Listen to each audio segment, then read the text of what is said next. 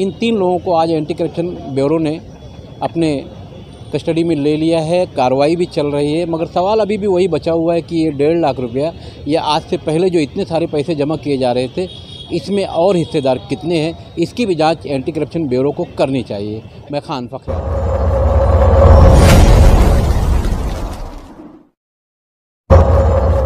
आदाब, एक दिन की वाहवाही मतलब एक दिन की वाहवाही चर्बी पकड़कर घी बताने की कोशिश की गई। आज से ठीक एक दिन पहले भिवंडी शहर में एक ही सलाटर हाउस है, वो बंद है, उसमें चर्बी का कारोबार।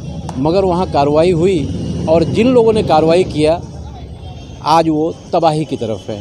यानी एक दिन पहले वाहवाही और ख़ुद आयुक्त ने भी वाहवाही किया और दूसरे ही दिन यानी आज डेढ़ लाख रुपये लेते हुए तीन लोग पकड़े गए एंटी करप्शन के जाल में। सवाल ये उठता है कि अजय वैद जो महानगर पालिका आयुक्त है, जब से आए हैं, पूरे भिवंडी शहर में तहलका सा मचा हुआ है करप्शन के मामले को लेकर। तो करप्शन तो लोगों को नज़र ही आ रहा है, मगर आज वो करप्शन खुलकर सामने आ गया।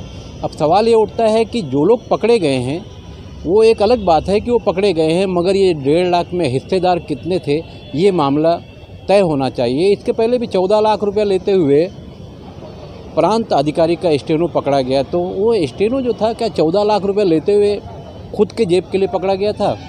बड़े अधिकारी बच जाते हैं और नीचे जो लोग हाय हपट करके इस तरह का पैसा लाकर जमा करते हैं उनके गले में आ जाता है। बहरहाल आज तीन लोग यहाँ एंटी करप्शन के जाल में फंसे।